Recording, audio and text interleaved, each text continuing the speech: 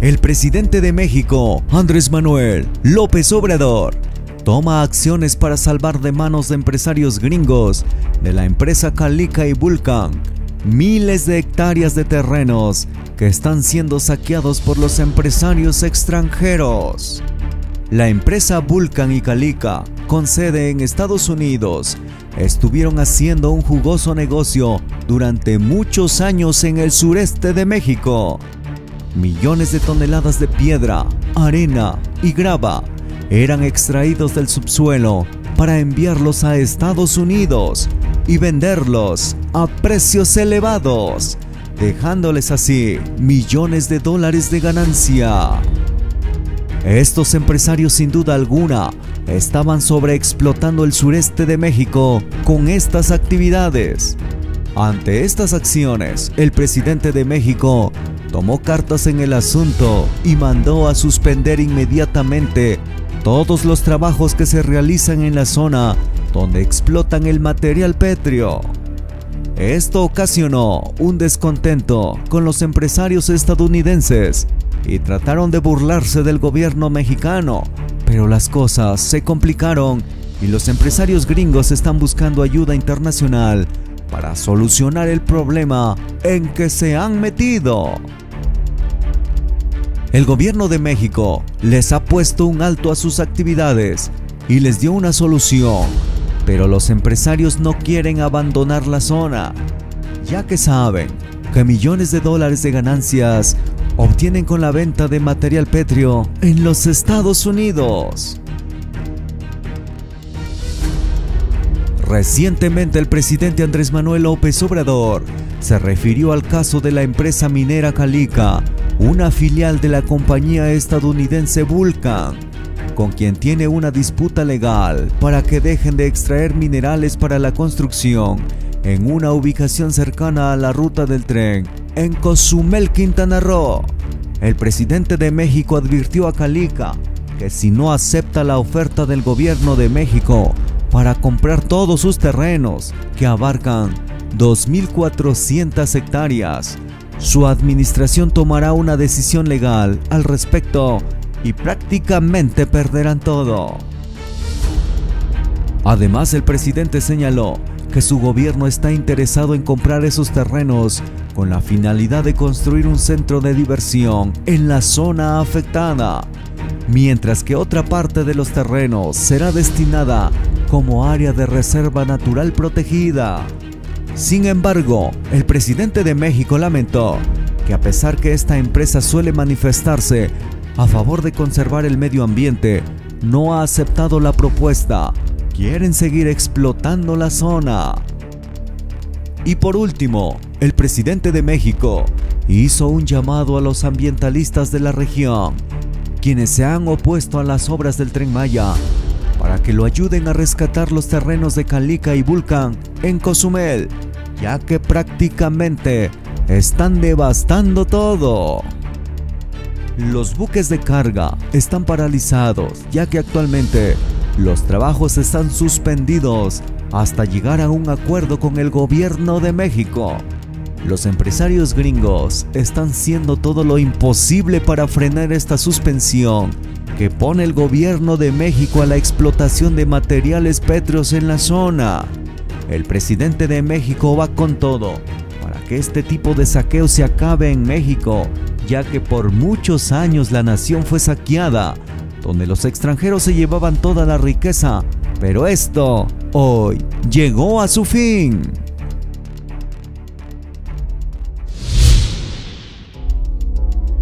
En pleno corazón del paraíso natural y arqueológico de la Riviera Maya, la empresa Calica, hoy Sactún, explotó por 36 años y devastó 1.200 hectáreas de selva, ríos subterráneos, cenotes y manglares para extraer roca caliza y exportarla a Estados Unidos, provocando un desastre ambiental que destruyó la selva y contaminó agua y suelo en la región. Desde el aire se puede apreciar la dimensión del daño causado. Debajo del agua extrajeron roca, la cual trituraban para exportar piedra, arena y grava por barco. Esa agua provenía de los cenotes destruidos, del desvío de ríos subterráneos y la retención ilegal de agua que alteró las corrientes, lo que trastocó todo el ecosistema. La actividad minera acabó con la diversidad del lugar, afectando 942 especies, 529 de fauna y 413 de flora natural, incluidas especies en peligro de extinción. Por varias décadas, la empresa Sactún realizó voladuras para romper el suelo kárstico hasta 11 metros por debajo del nivel freático. El uso continuo de explosivos contaminó el agua con nitratos y otras sustancias que se filtraron al manto freático más allá de los predios de la empresa. Otra actividad ilegal de la empresa fue la retención del agua subterránea en 4.24 kilómetros cuadrados, más de 40 millones de metros cúbicos, cuando la concesión a la empresa fue por apenas 1.7 millones de metros cúbicos, es decir, que utilizó 20 veces más el volumen que tenía autorizado. Esto provocó el colapso de cavernas, así como hundimientos en la zona, incluida la carretera 307. De esta manera, la empresa Calica, subsidiaria del grupo estadounidense Legacy Vulcan, explotó roca caliza desde 1986, violando las normas ambientales y los permisos otorgados por las autoridades. No ha realizado obras de remediación ambiental en la zona, a pesar de los evidentes daños provocados a la naturaleza. Durante tres décadas, la empresa Calica exportó cada semana 3.500 toneladas de roca caliza por barco, la mayor parte hacia Estados Unidos, algo así como 5.460.000 toneladas de piedra. Por su alcance, su dimensión y porque el daño es irreversible, la mina de Calica representa el mayor desastre ecológico causado por una empresa en la península de Yucatán y sobre todo en la Riviera Maya. En 2017 y 2018, tras una inspección, la Profeba determinó que la empresa Calica había hecho un aprovechamiento de roca caliza en superficie y temporalidad mayor al autorizado, por lo que se le impuso una clausura y sanciones administrativas. En respuesta, Legacy Vulcan, apelando a las normas del Tratado de Libre Comercio de América del Norte, presentó una demanda contra el Estado mexicano con una reclama por compensación de más de 1.500 millones de dólares. Comprometido con la protección de un medio ambiente sano para todas y todos, el Gobierno de México se mantiene firme en su posición de priorizar el interés público por encima del privado. No más devastación y saqueos. Así está. Eh, ¿Cómo está la situación? Hay una denuncia internacional.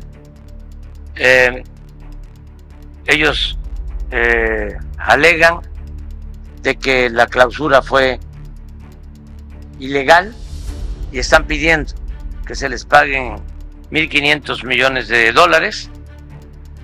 Nosotros lo que estamos planteando es lo opuesto, que se destruyó eh, el territorio, toda esa zona y que eh, vamos a, defender el que ya no se pueda eh, seguir utilizando como banco de material esta zona. Además, tienen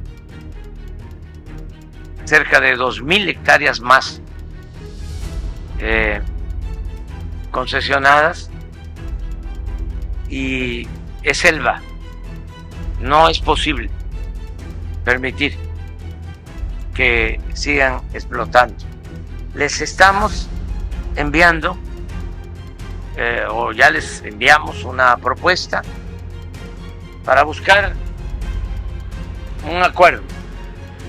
Pasa que creo que están mal asesorados. Qué bueno que se trata este tema, porque seguramente ellos van a escuchar lo que estoy expresando. Les estamos eh, proponiendo, ya lo hice por escrito, hicimos un avalúo de todo el terreno, estamos proponiendo pagarles, comprarles todo el terreno.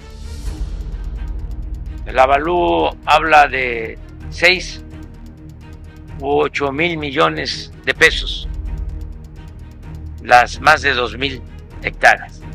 Y les estamos planteando de que eh, solo se utilizaría, se buscaría la forma de poner un centro de diversión, de recreación eh, en la zona ya afectada y el resto lo declararíamos reserva natural protegida, cerca de 2.000 hectáreas. Ellos siempre hablan de que les preocupa mucho lo del cambio climático, que más apoyo para conservar el medio ambiente que aceptar un acuerdo como el que les estamos proponiendo. Sin embargo, no ha habido respuesta. Seguramente están pensando que nos vamos a ir y que con el nuevo gobierno van a poder seguir explotando el banco. Yo les aconsejo que no apuesten a eso, porque nosotros no vamos a dejar este asunto en suspenso.